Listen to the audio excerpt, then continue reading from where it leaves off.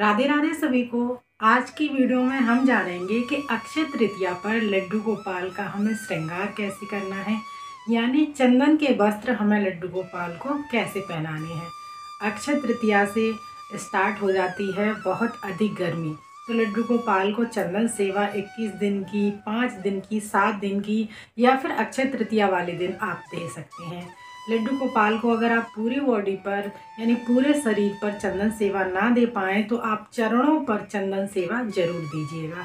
और लड्डू गोपाल को हमें अक्षय तृतीया पर स्नान कैसे कराना है, उनको क्या भोग लगाना है, और विशेषकर क्या भोग उनको अक्षय तृतीया पर लगाया जाता है।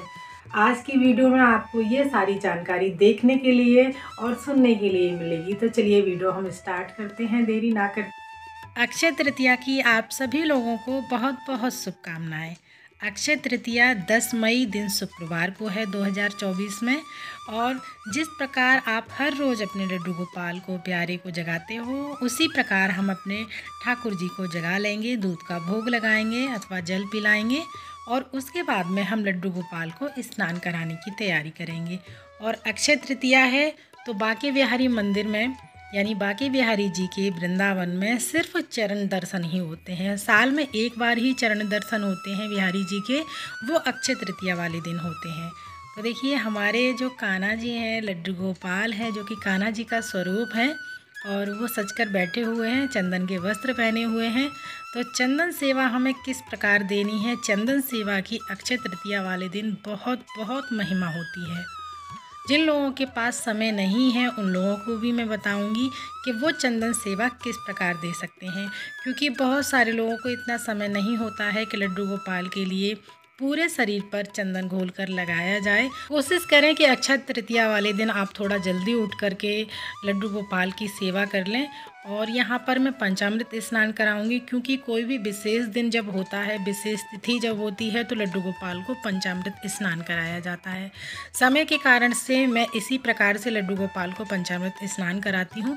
एक गिलास ले लीजिएगा आप, उसमें कच्चा दूध, दही, शक्कर, चीनी और शहद मिला करके, और इसमें आज के दिन आप थोड़ा सा गंगा जल और गुलाब जल ज़रूर डालिएगा।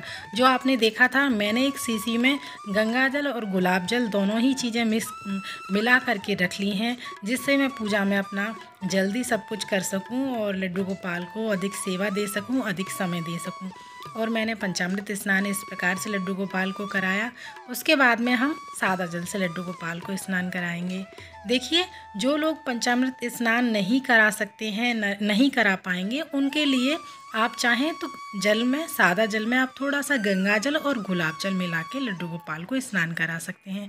अगर गुलाब जल भी नहीं है आप तो गुलाब की पत्तियाँ हैं वो डाल करके लड्डू गोपाल को स्नान करा लीजिएगा।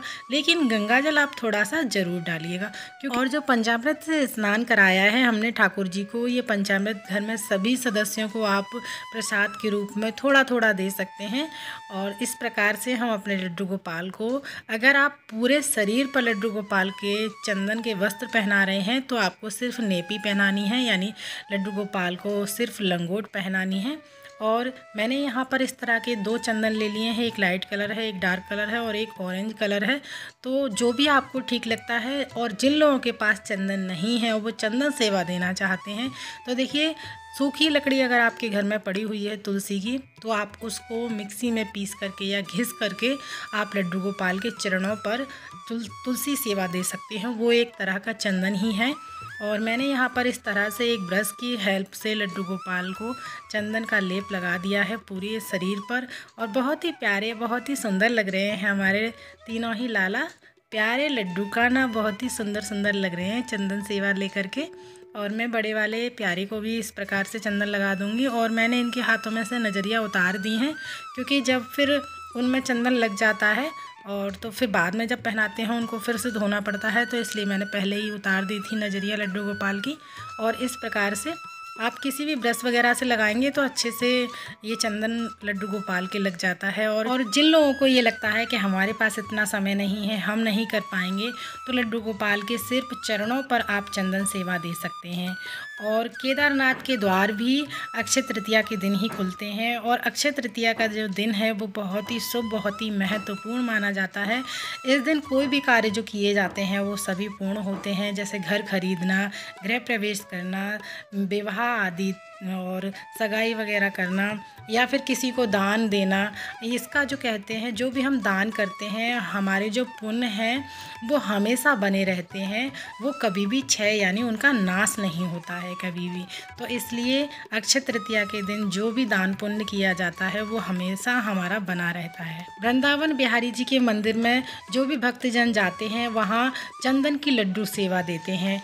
आप बाहर देखेंगे मार्केट में, बहुत बड़े बड़े चंदन के लड्डू लड्डू रखे हुए होते हैं और बिहारी जी को उसकी सेवा दी जाती है।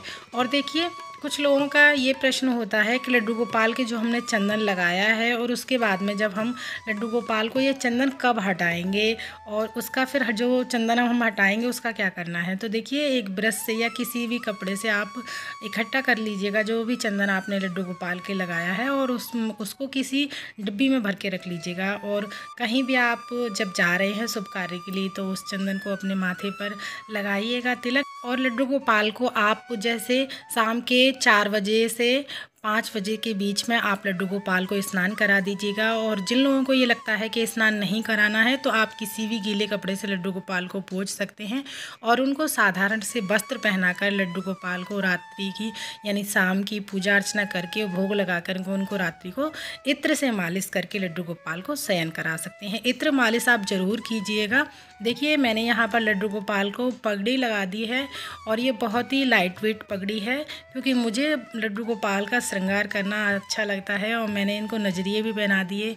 गले में जो है, तुलसी की माला और एक मैंने माला और पहना दी है और इस तरह से हमारे जो प्यारे काना ठाकुर जी तीनों सज के बैठे हुए हैं। और आज का जो मुख्य भोग होता है, वो है सत्तू। सत्तू ठंडकता प्रदान करते हैं, पेट के लिए बहुत अच्छे रहते हैं।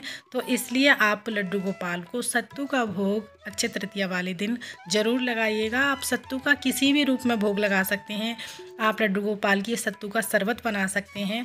मैंने यहाँ पर मैंगो शेक बनाया है लड्डू गोपाल के लिए और रुआवजा का शरबत बनाया है। आप सिकंजी बना सकते हैं, आम पन्ना बना सकते हैं, नींबू पानी बना सकते हैं मौसमी का जूस बना सकते हैं। मैंने यहाँ पर दो तरह के ये शरबत बनाए हैं। आप कोई भी आप बना सकते हैं क्योंकि गर्मियाँ हैं तो तरल चीज़ों का हमें लड्डू गोपाल को भोग लगाना है।